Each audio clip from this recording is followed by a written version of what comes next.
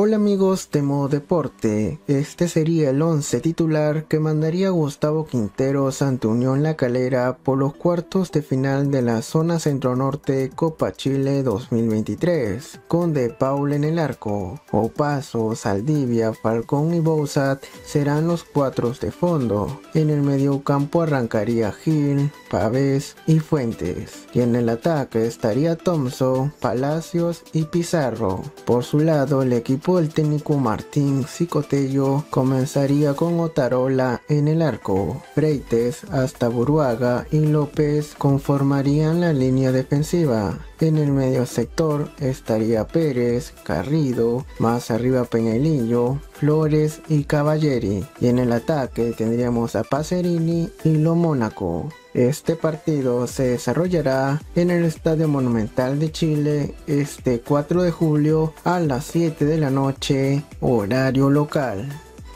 Si te gustó el video, apóyame con un pulgar arriba, suscríbete activando la campanita que es totalmente gratis y nos vemos en un próximo video.